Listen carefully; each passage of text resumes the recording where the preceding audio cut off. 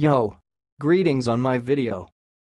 Today I will demonstrate how to pronounce this word. The pronunciation of this word is sounds like halalas, halalas. So I will repeat again, but a little bit slower. Halalas, halalas.